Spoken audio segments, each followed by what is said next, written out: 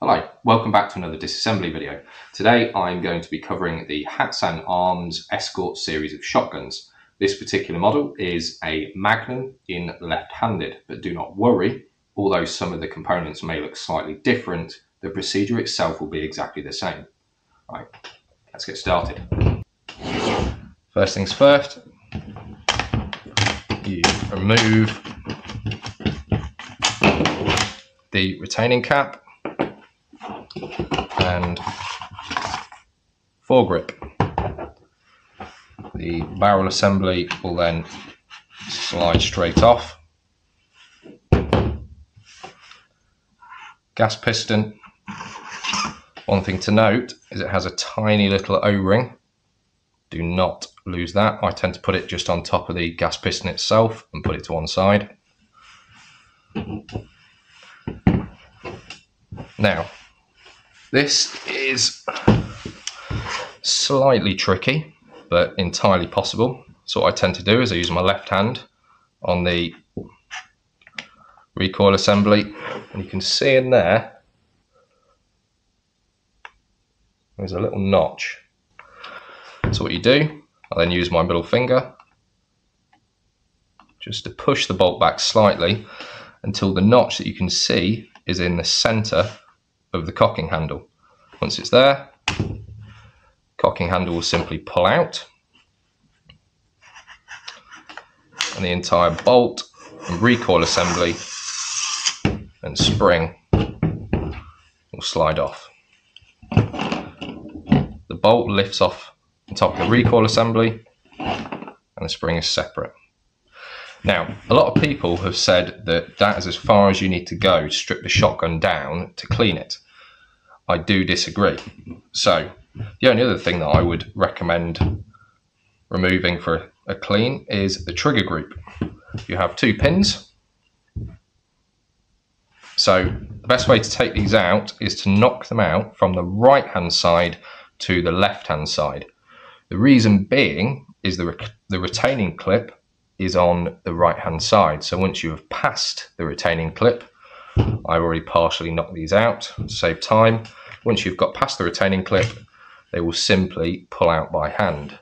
They are interchangeable. Both dowels are exactly the same. And then the trigger group will simply pull out. And that allows you to get right in to the back of the gun, which is generally pretty disgusting. And that is fully disassembled to allow you to clean it. The only thing that I would recommend doing periodically, you just need a pair of circlip pliers,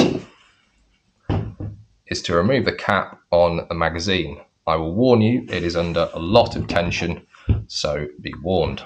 And then you can shove a rag in through one end and through the other.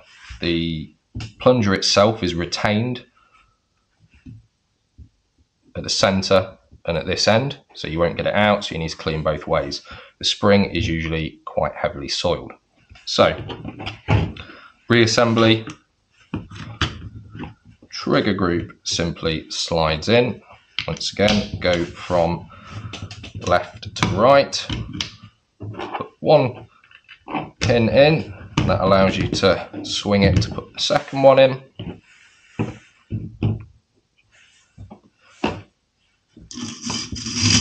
Slide the recoil spring on. The recoil assembly, you have a little plunger just at the front. That needs to slide within the bolt. And then simply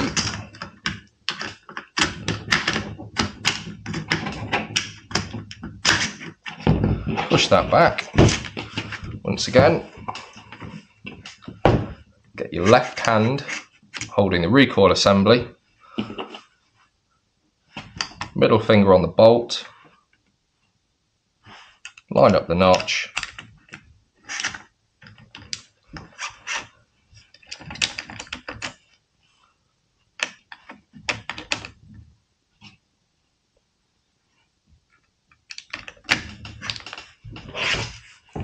cocking handle goes back in. The gas piston, followed by the small O-ring.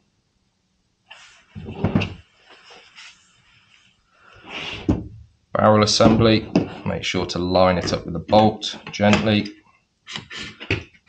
simply slide back on all the way back. The foregrip, make sure that it lines up with the little guide at the back here. Push into place. And the retaining clap, screw it in place. And then make sure everything works. It holds back